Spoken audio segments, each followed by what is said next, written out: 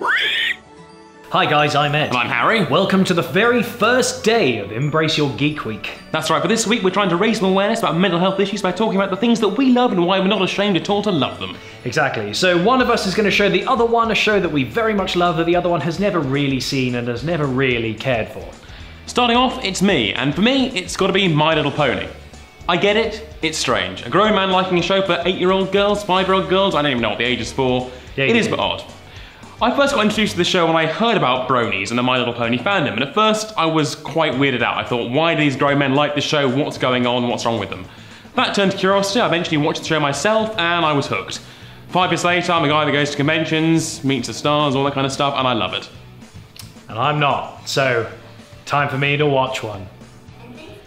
So I chose this episode for you purely because you've been a bit scathing about the uh, musical numbers in the past, and uh, this one features a quite nice one. I thought you might enjoy it. I've been scathing about everything about it in the past, to be honest. That's me. Who's that? Pinkie Pie. It is totally gonna break your ribs! Well, spill it, Pinkie! It wasn't easy. In fact, it was terribly Are you in the last 22 minutes? I'm, I'm not sure here. The main attraction. Uh, all the episodes, puns. Some of them. Yeah, that, that, that's a cutie mark. Every every pony has a cutie mark to symbolise um, Why? who they are and like what their destiny is. Like a really lame tattoo. I wouldn't say lame. I'd say you know. I, I, I don't know what I'd say. Why is there a dragon? Oh, so that's Spike. That's um, Twilight's pet dragon. Who's, Um, who's Twilight? Twilight's the purple one. She's the main character.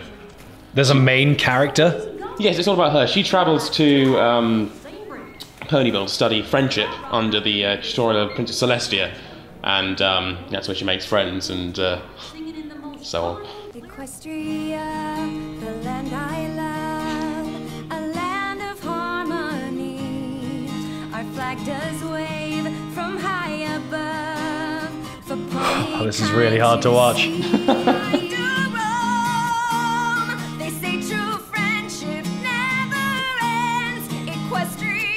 Yeah, I get it. I get why it's strange that I like this show. I, I do understand that stigma. But that's what this week's about. I know. Positivity. See if you can spot who this is a parody of. It's not Kanye West, is it? Uh, close. That's Kanye West. So far, everything about this is just screams Kanye West. Come on, there must be something a bit more obvious. Lady Gaga? There you go. Clear! Step back! Keep your hooves and tails to yourselves!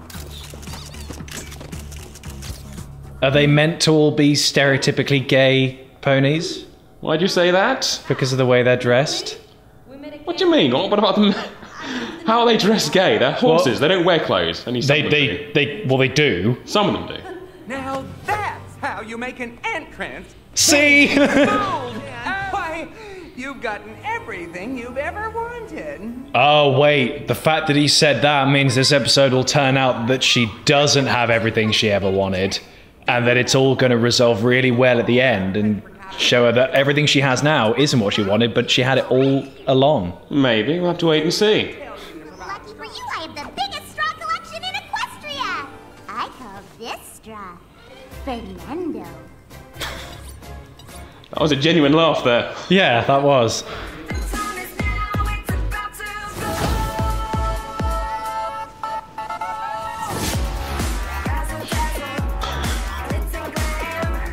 it's beautifully animated, I'll give it that. Yeah, it's nice to see a show animated with Flash, because uh, those are a dime a dozen these days. Does it not say a lot about their episode structure and content that they have to pad it filled with songs to fill the time? Well, I mean, this one's not particularly padded. I mean, there's context. I thought it was going to go a lot longer. She had to actually. rehearse, you know. I I mean, we do have to remember this is a kid show, you know, so having a song to keep them entertained wouldn't. I've never unheard of. forgotten that this is for small girls. Countess Coloratura's performance wouldn't exist without them.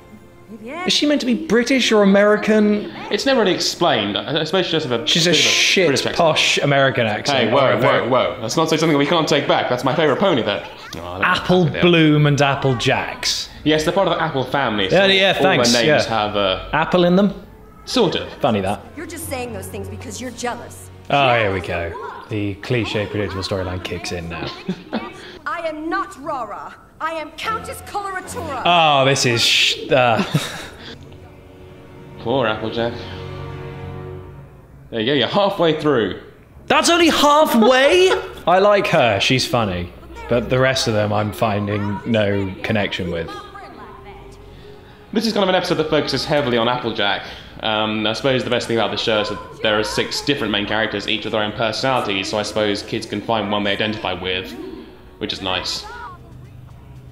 Why does that one have wings? Oh, she's an alicorn, so she's um, she has both wings and a horn. They're either earth ponies, which have neither, a Pegasus, which has a horn, or a unicorn that has. Sorry, the unicorn has the horn, Pegasus has the wings. And Twilight, who's the main character, recently got made an alicorn princess, so she has both. Okay. Good luck. What The a, all is lost moment. what a penis. This song may be familiar, but yet it's totally different. Kind of like me, Rara. Ah. That might have been the worst moment so far. Might be time. There's more to me than glitz and I mean, it, it is a very obvious parallel to Lady Gaga. Um, I'm not sure how many of the kids watching would get that. I hate it. The songs are all very like they were written by a 13 year old and have lyric content like they were written by a 13 year old. I don't think a 13 year old could write this. I, I wrote stuff like this. It's written for 13 year olds. By well, 13 no, year olds. younger than For 13 year olds, by 13 year olds, with 13 year Stop it. stay true.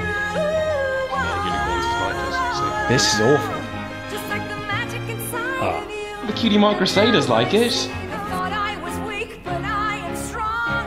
They sold me the world, but they were wrong. It's like any Kelly Clarkson song ever. Doesn't make it a bad song. It does. But look, she found her true self again. All the ponies are cheering for her. Great. Applejack's emotional. If I was true to myself, I couldn't go wrong. So There I you have go. a very There it is. Great moral, you know. Apple What is happening now? No. Most other school ponies would get to sing on stage. This is the worst song yet. Is this one?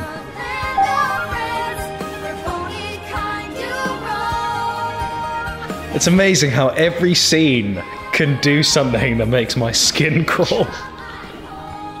Oh, wasn't that a nice ending? You know? No. She found her true self, they got to sing on stage. Everybody's happy. Except for me.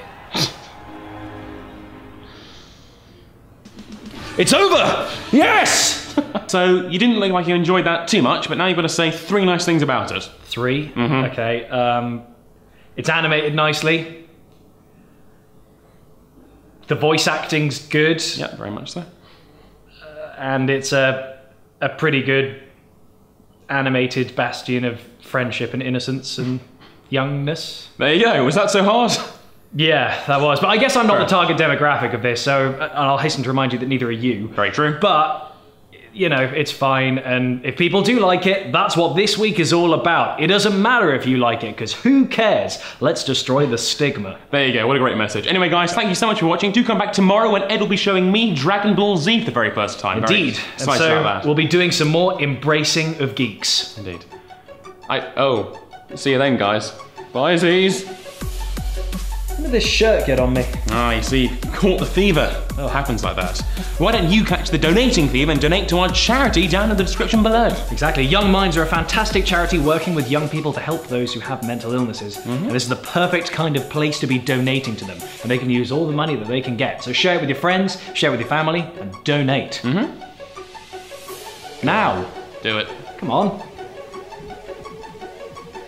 Jesus. Don't think they're doing it yet. It's a charity. Come on. Money. Come on. Mental illness. Come on.